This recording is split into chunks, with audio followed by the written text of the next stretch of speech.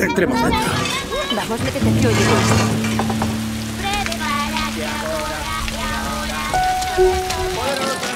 En cuanto papá termine de lavar los platos, nos vamos a casa. Así que preparad las cosas. Solo os estoy informando de que nos vamos. Eres demasiado dura con ellas. No. Recuerdo que alguien solía ser muy duro conmigo. Y no me refiero a mi padre. Buenos días, corazones. ¿Qué clase de imagen tienes de tu padre?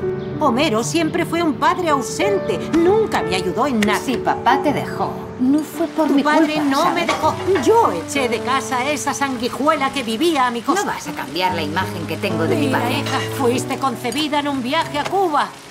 Y Homero no estaba allí. ¿Sabes que tuve una aventura? Muy breve.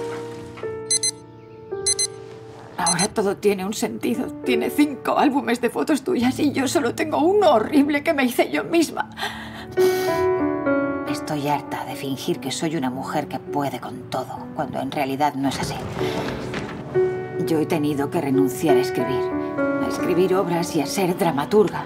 Escribo textos sobre baños de cerámica y lavabos. ¿Quieres decirme algo más?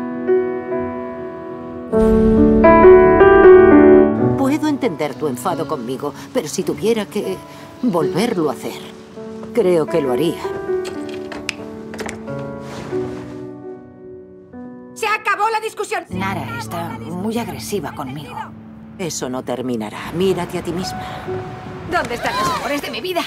Llega un cierto momento que la definición de mamá en el diccionario es la mujer que no sabe nada.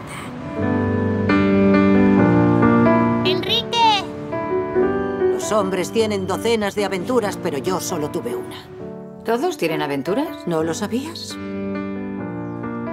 Mi padre era exactamente igual. Mi abuelo también. Es hereditario. Está en nuestro ADN.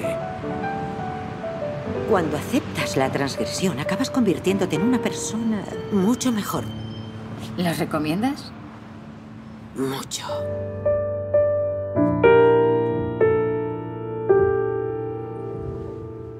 Quiero que me des el teléfono de mi nuevo padre. Creo que perdí el papel.